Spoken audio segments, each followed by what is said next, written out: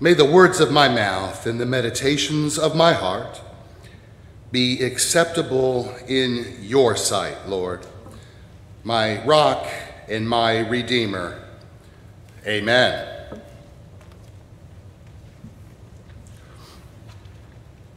Well, have you ever noticed how many warning signs, warning signs that you pass by uh, just in the time span of an average day, signs like do not enter, or school crossing, or caution, wet floor, and a host of others. There's a hilarious warning circulating on the internet. It goes like this Warning! Do not shampoo your hair in the shower. When I wash my hair, the shampoo runs down my whole body. And printed very clearly on the shampoo label is this claim for extra body and volume. so it's no wonder that I've been gaining weight. No wonder for extra body and volume. Well, I've gotten rid. I went ahead and got rid of that shampoo and I'm going to start showering with Dawn dish soap. Its label reads this way dissolves fat that is otherwise difficult to remove. Make sense? Problem solved. So if I don't answer the phone, I'm in the shower. You got it? A trade school trade school in Britain came up with a, a really eye-catching warning sign uh, to post in factories.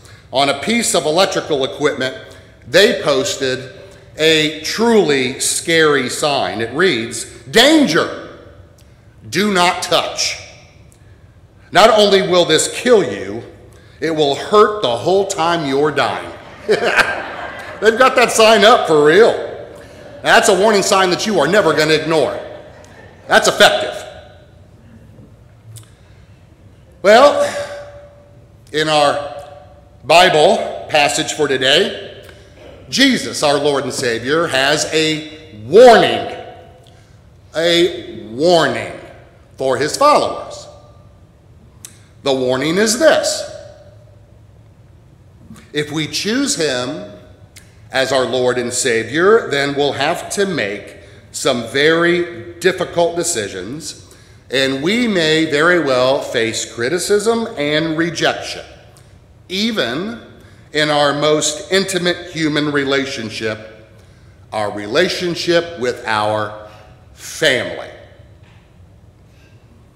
Now listen close to these disturbing words. I've come to bring fire on the earth and how I wish it were already kindled. But I have a baptism to undergo, and what constraint I am under until it is completed. You think I came to bring peace on earth? No. I tell you, but division.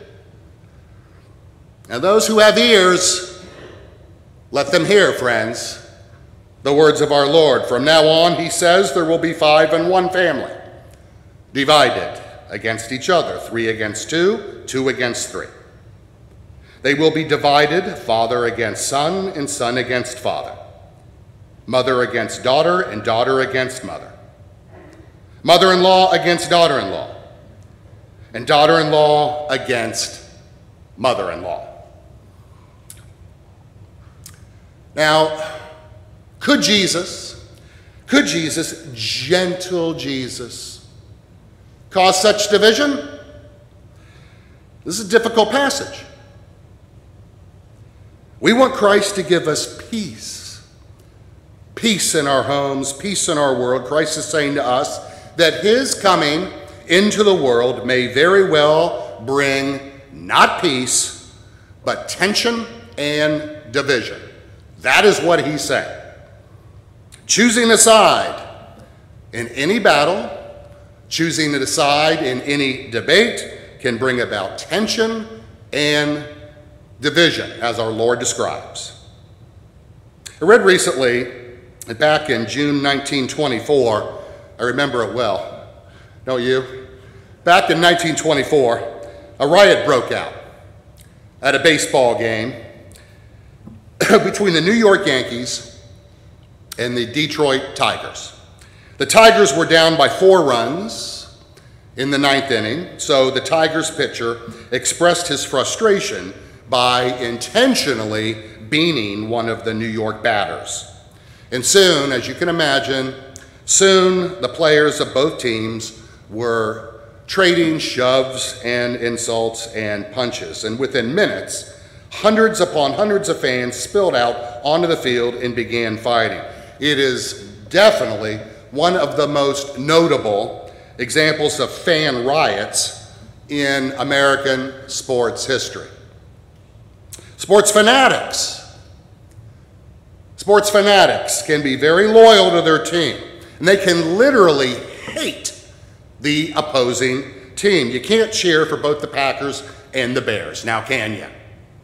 Some of you have informed me you definitely can't, uh, you, you, just, you can't support both the Bengals and the Steelers. You love one, you hate the other. It's the way it tends to be. You have to choose. Either you love the Lakers and hate the Celtics, or you love the Celtics and you hate the Lakers. Pick a side.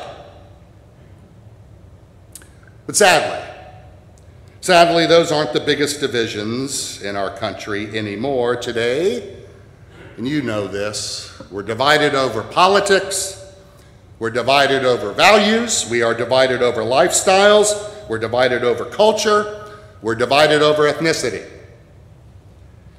We want our churches to be the voice of unity and peace in our culture, and that's part, part of our calling. But there are numerous, numerous examples. The scripture's riddled with them. Examples in the Bible of Jesus' mission upsetting the status quo of religion, of politics, and culture, and relationships. It's the reason Jesus was killed. It's the reason that his followers were persecuted, falsely accused, thrown into prison, tortured. It's why some churches in other parts of the world have to meet in secret. It's why people say that you should never, ever talk about politics, religion, or money in polite company. Talking about your faith in certain quarters is guaranteed to create divisions. It's important to remember that wholehearted commitment always creates tension. Complete commitment to one thing requires rejecting any competing commitments. Certain options are off the table. J.P. Moreland, in his book Apologetic Reasoning and the Christian Mind, tells us sharing his faith with a college student at the University of Vermont. Student was a believer in ethical relativism. Ethical relativism. Now, here's how a believer in ethical relativism would express his faith Whatever is true for you is true for you, and whatever is true for me is true for me. But no one should force his or her views on other people since everything is relative. In other words, believe whatever you want. And Moreland writes I knew that if I allowed him to get away with ethical relativism, there could be for me no such, be for him no such thing as real objective sin measured against the objective moral command of God, and thus obviously no need for a Savior. Now, I thanked the student for his time and began to leave his room, and on the way out, I, I went ahead and picked up his small stereo and started out the door with it. Hey, what are you doing? He shouted. I said, Well, I'm leaving your room with your stereo. Well, you can't do that. The student gushed, and Moreland retorted. Well, I happen to think that it's permissible to steal stereos if it will help a person's religious devotions. And I myself use a stereo to listen to Christian music in my morning devotions. Now, I would never, ever try to force you to accept my moral beliefs in this regard because, just as you said, everything is relative, and we shouldn't force our ideas on others. But surely you aren't going to force on me your belief that it's wrong to steal your stereo, are you? Now, Moreland confronted the student's desire to believe in ethical relativism in certain areas of his life and ethical absolutism in other areas. He went on to say, Believe it or not, the student honestly saw the inconsistency of his behavior, and for a few weeks later, I was able to lead him to Jesus Christ. A wholehearted commitment's rare. It is rare, even in the church. So it automatically creates tension. People who make a difference in the world are always controversial, always. Sometimes you have to choose. Now, you all well know what's been going down in our denomination, been going down for decades. Our denomination's ripped apart, it is split, it's already occurred. We're wiring in the mire of turmoil, endless controversy, and it's not going away. We do well, friends, we do very well to remember this message of our Lord and Savior come decision time in the matters that have been thrust upon us. Chickens come home to roost. St. James must decide its future. You think I've come to bring peace on the earth, Jesus said? No, I tell you, but division. Jesus warns us wholehearted commitment always creates tension. But, but wholehearted commitment also creates passion. You see, Jesus uses the imagery of fire, doesn't he? He uses the imagery of fire to explain his mission on earth. I have come to bring fire on the earth. Fire. Now, usually we think of fire as a destructive force, but fire certainly can also mean a couple other things that are very, very positive. Fire can also symbolize passion. Wholehearted commitment creates passion passion as well as division.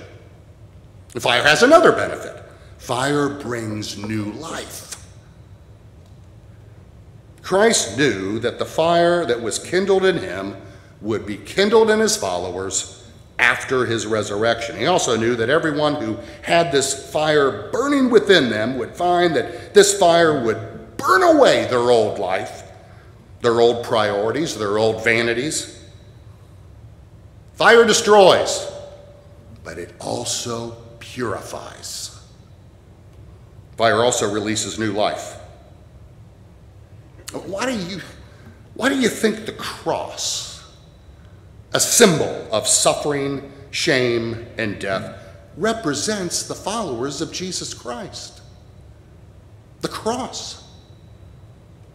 Because death is essential, essential for new life and willingly laying down your life for what you believe is the ultimate commitment. We want the church to be a beacon of peace in our society. We want our faith in Jesus to, to bring greater peace and unity and understanding to our families, our towns, our world. But committing to Jesus as Lord means giving up all other gods. It means putting God, God above everything including our love for our family, including our love for our own life. The life, death, and resurrection of Jesus brings peace to our hearts, but it also it marks the greatest dividing line in human history. Either you're for him or you're against him. Either you're seeking a world of righteousness, justice, and love, or you're simply looking out for yourself. You can't have it both ways. It's time to pick a side. And all God's people said, Amen. Let's bow our heads in prayer. Refining God. The blaze of your honesty separates truth from falsehood in our lives. When we approach you too easily and casually, thinking that we're in control, your baptism of holiness reveals that your loving sacrifice for us reorders all of our relationships and priorities. God, we too quickly assume that reality is based on how we perceive the world. Arrogantly, we treat you as someone doing our bidding, wanting to fulfill our whims, waiting to fulfill our wants, and unable or unwilling to challenge our most cherished idols. Your vision, your timing, your intense passion are at times very foreign to us. Our misguided intentions seek shallow answers, blind agreement, and approval of what we already believe. So erect within us courage, courage that shatters and exceeds assumed boundaries Release us from illusions that dampen your fire within us. Build a kingdom sensitivity that yields to your will. And help us to step back and ask, What, our Lord, do you seek for us? Where are you leading? Show us how we should care. And when we trust you completely, whether family, friend, or stranger. We will love all people as you love them. We're ready for your open future or in the days ahead. We will find you already at work. In Jesus' name we pray, saying, Our Father, who art in heaven, hallowed be thy name. Thy kingdom come, thy will be done on earth as it is in heaven. Give us this day our daily bread, and forgive us our sins, as we forgive those who sin against us. And lead us not into temptation, but deliver us from evil. For thine is the kingdom, and the power, and the glory forever and ever. Amen. Friends, let's stand now and let's join in singing our song for life, Stand By Me.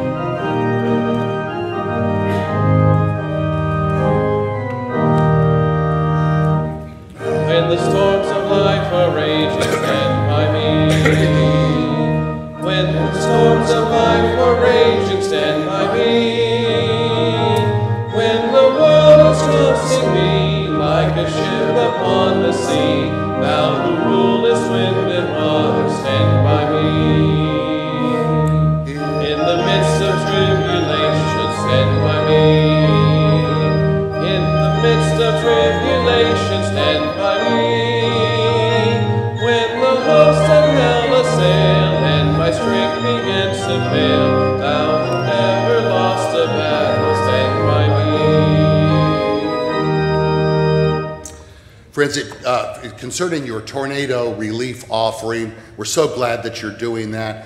Uh, to be more specific, the box is right next to the TV in the gathering area. Please, but we don't want it in the offering plate so we can keep it separate. We can tally uh, the total. And we, again, thank you so much. And Gail, you did a wonderful job. You, you, you did a wonderful job. Gail came up to me after Bible study a few months ago and she said, I'd like to serve as lector again. And you just had, she had done it in the way distant past. It's hard to get up here for many people. And uh, you just do a tremendous job, and we thank you for your service very much. Let's bow our heads to receive God's blessing. May God the Father prepare your journey. Jesus the Son guide your footsteps. The Spirit of life strengthen your body. The three in one watch over you on every road that you may follow. Amen.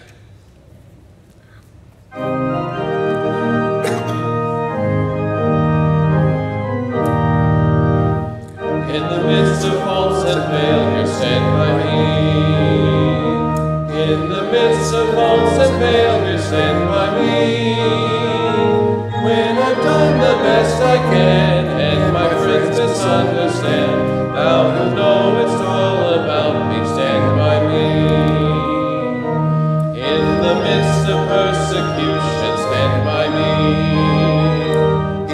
midst of persecution,